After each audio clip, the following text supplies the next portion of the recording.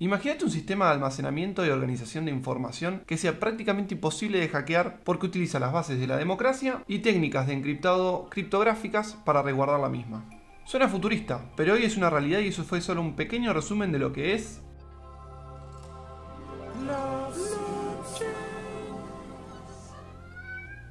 ¿No?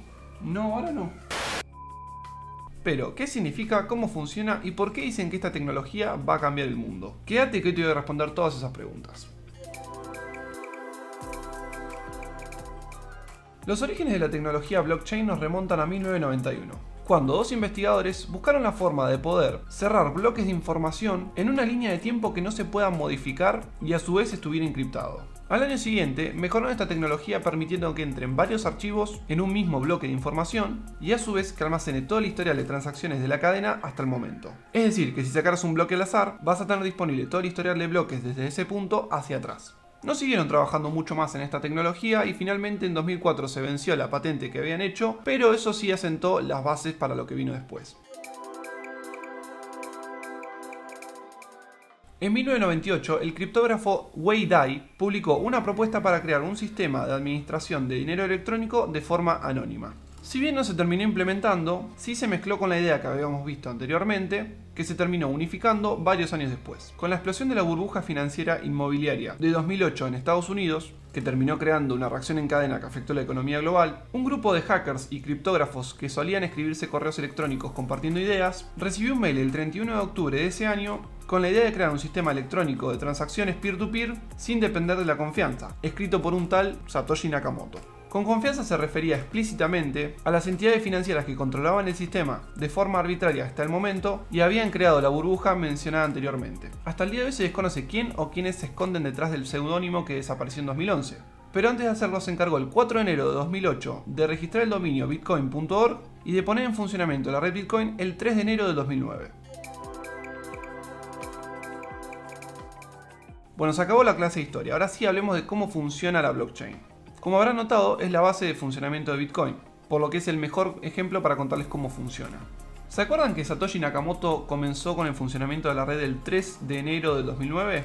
Bueno, nueve días después hizo la primera transacción de Bitcoin, enviándole 10 Bitcoins a uno de sus colegas criptográficos en el bloque número 170.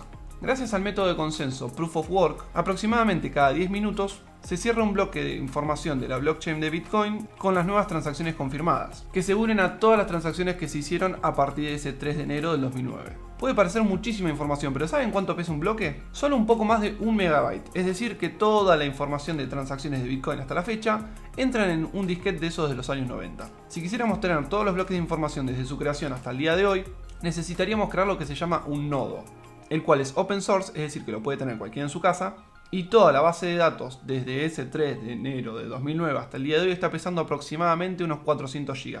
Acá es donde entra en juego esa frase que les dije al principio de base democrática, ya que la única forma de que una transacción sea válida en Bitcoin es que el 51% o más de los mineros, que ahora te voy a explicar quiénes son, confirmen que la misma es válida. ¿Qué quiere decir esto?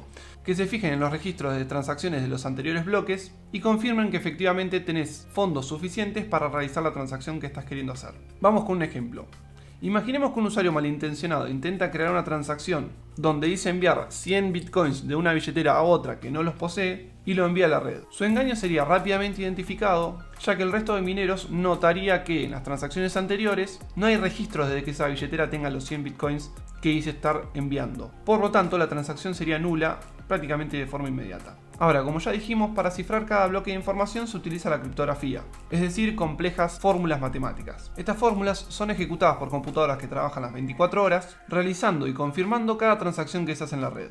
A este proceso se lo conoce como minado y la red recompensa de dos formas diferentes a quienes presten sus computadoras para realizar las tareas, es decir, los mineros. La primera forma es mediante el pago del costo de transacción y la segunda es con una nueva cantidad de Bitcoin que se crean cantidad que se ve reducida cada 4 años a la mitad, en un proceso que se conoce como halving. ¿Viste que vos podés doblar un papel a la mitad hasta una cierta cantidad de veces? Bueno, lo mismo pasa con Bitcoin, se va a ir reduciendo a la mitad hasta que finalmente en 2140 se terminen de minar los 21 millones de Bitcoins. El método de cifrado es conocido como hash, y el hashing es el proceso de cifrar la información de forma que solo pueda descifrarse con una llave que actualmente en Bitcoin se consigue con un número azar entre 1 y 2 elevado a la 256. El cual puede no parecerlo, pero es un número tan grande que un día te voy a hacer un video exclusivamente explicando qué tan gigante es este número. Encontrar ese número al azar es sumamente difícil. Por lo tanto, los mineros que cuenten con más potencia tienen más posibilidades de encontrar ese número, es decir, la llave que hace falta, y llevarse la recompensa. Como más potencia en las computadoras al día de hoy significa más gasto energético, se dice que es poco amigable con el medio ambiente, pero ese es material para otro video. Como hablamos de tecnología, todo es posible de mejorar o actualizar, y por eso fueron saliendo diferentes alternativas a Proof of Work que prometen ser más amigables con el medio ambiente e incluso algunas aseguran ser hasta más seguras. Y ahí es donde creo que reside la característica más importante de la blockchain, su comunidad y cómo ésta puede evolucionar encontrando soluciones a las diferentes problemáticas que vayan surgiendo. Como habrán notado, la blockchain es una forma muy segura de guardar información, ya que es prácticamente imposible de hackear salvo que alguien se haga con el control de más del 51% de quienes validan las transacciones. Pero por ejemplo, una empresa puede utilizar una solución centralizada, es decir, no permitiendo el ingreso de nuevos validadores, pero sí para usos internos.